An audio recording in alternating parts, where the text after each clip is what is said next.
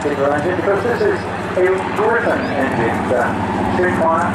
And he certainly designed after sort of Royal Naval specification for an engine capable of generating good power at low altitude. Obviously adapted from the uh, Spitfire design itself and uh, all the work that Joe Smith uh, put, in after uh, he took over the Royal design team thinking that uh, addition of a more developed Rolls-Royce engine would be a second power strength for the Spitfire. First of the Griffon engine, Spitfire actually grew as early as 1941, but it uh, was this particular mark that I suspect really sealed their name.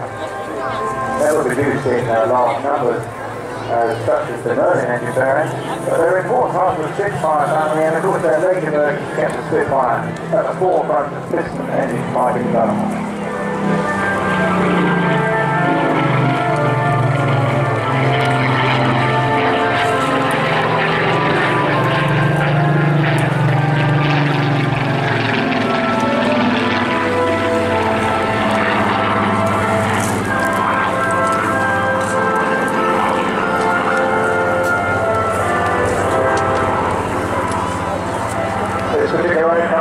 8.3 and unarmed high altitude reconnaissance aircraft, one of about the 79 Mark uh, 19 built at Supermarine in South Powered by a 2,000 horsepower Griffon 65 or 66.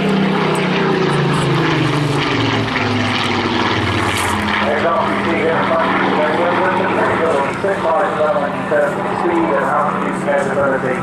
With a top speed of 446 miles an hour and a ceiling of 42,000 feet.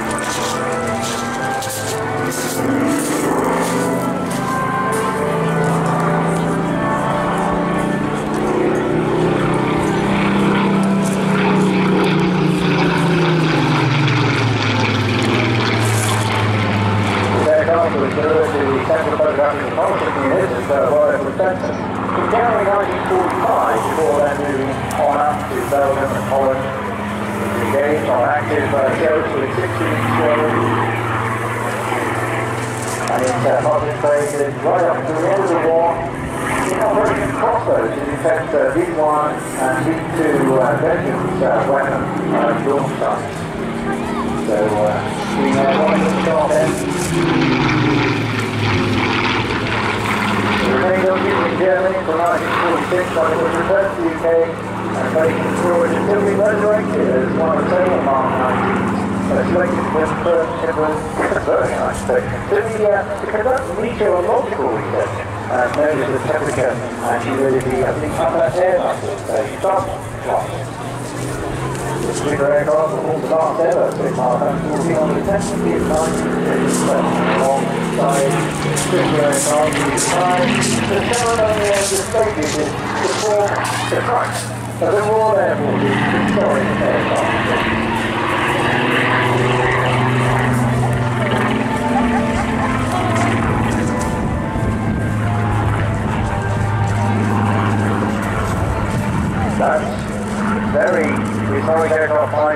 Flying to call as the forerunner of what we now today see and saw again with uh, Spitfire today, the Battle of Britain, followed by nowadays the Royal Air Force Commons.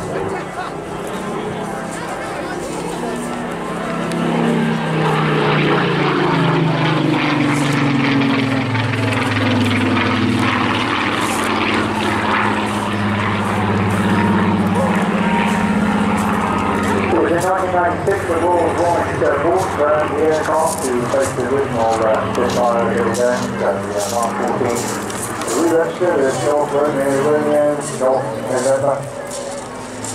We uh, try another of uh, number 16 photographic reconnaissance squadron in the 2nd Panzer Air Force.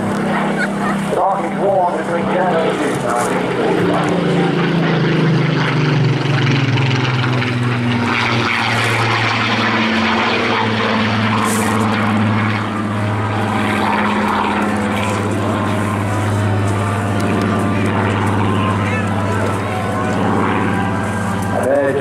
Now is the uh, voltage of that, so thinking we might get another call. So, uh.